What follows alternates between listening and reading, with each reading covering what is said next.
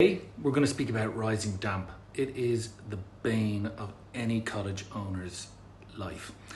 Um, rising damp comes when the walls of your building come down to the foundation without a separating layer, a plastic layer. And when cottages were built a very, very long time ago, uh, they didn't pay any consideration to this. So what happens is um, water from the outside will migrate up through the wall, um, especially to the inside of the wall. And when the inside is heated with condensed air, it'll condense and evaporate on the wall, creating uh, dampness, mildew, uh, white staining, flaking paint, and lots of other uh, moldy uh, bits growing. So it's a real bane. It's a difficult thing to solve in cottages. And today I'm going to show you a number of solutions and the one that I chose and the problems that I had when I did it and what I've learned along the way.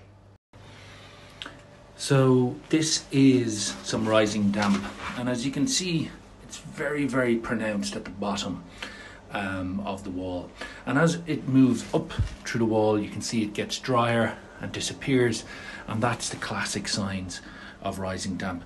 You can see the, the symptoms here, this green mildew.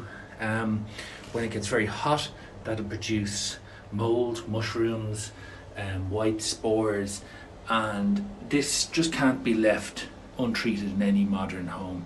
So we have to look at different solutions. There are solutions to inject um, the wall, but I think with old cottages, the walls being so deep and the joints between the stones being so fragile and uncertain that relying on this sort of injection process won't really work um, and won't deliver a good result. So we are looking at a tanking system and uh, this is an applied system of a, a paint onto the wall which prevents the moisture coming through. People will say, well, you should you should let it breed, you should let the tanking breed. and there are some great products out there um, that do allow the wall to breathe um, while also uh, preventing the moisture passing through. For me, I'd prefer to, to block it out completely, um, understanding the risks with that, uh, which, you know, dampness trapped in a wall will sort of corrode the cementitious material, the lime, uh, over time. But I've made the conscious decision just to block it out completely because the water ingress is, is quite severe. Um, where I am, the stone kind of curls upwards and the water migrates through the cracks and curls up into the wall and elements of the walls that I have here are actually on the rock. So that means that uh, it's very likely it's really hard to stop the water coming in. And I certainly don't want to take the risk of applying the system and then having further issues uh, down the road or mildew behind furniture and that.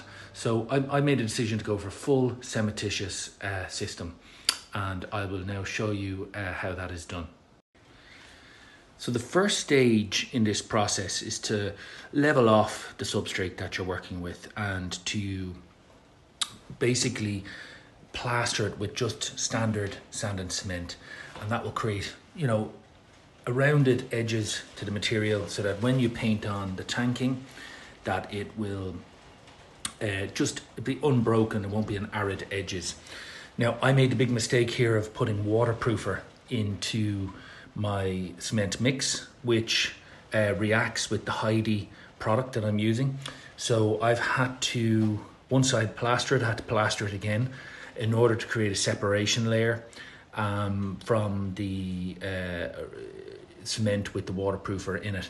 Um, and then the HEY'DI tanking goes on to that second coat, uh, which will ensure that it doesn't react with the uh, waterproofing agent in the concrete.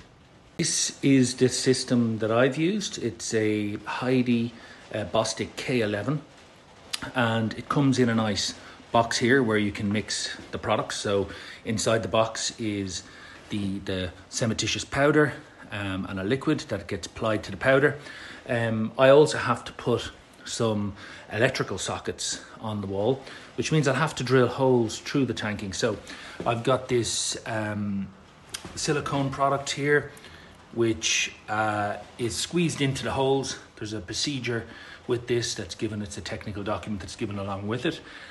Squeeze it into the hole and then you can put your plug and screw in and that maintains the waterproofing. Now obviously you want to do that as little as possible. Important to note, uh, we are retrofitting this now into this building. So this building's been finished. You can see the timber floor here, and there's a granite banded edge around the building. So the floor itself has previously been pulled up and fully insulated and uh, tanked uh, itself with a, a damp-proof course membrane.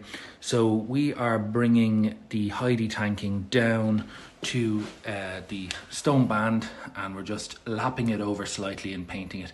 Ideally, uh, we would have brought this right down and under the concrete and onto the concrete floor to get a really, really good seal. It's too difficult to do that at this point. Maybe sometime in the future I might go at it. Uh, but for now, uh, this is the best solution. I am also aware that in behind this um, granite edge, uh, there is the uh, DPC or DPM which runs up the back.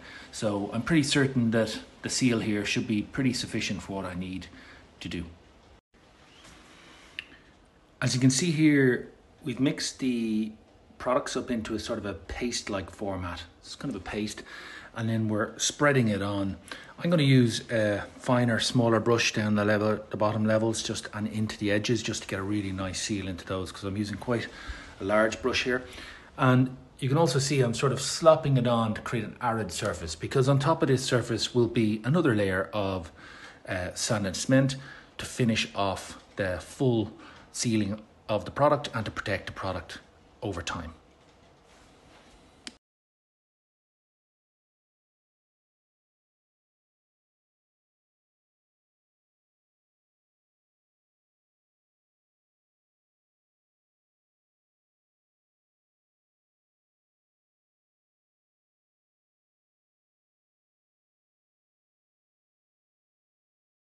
It just goes to show that any homeowner or self builder can tackle these tasks. Um, I've had fantastic support from Quigley Conservation, who've given me a lot of guidance on how to use their product, and um, it's really made it a lot easier for me to tackle this job. And I'm looking forward to the results now uh, of a damp free home.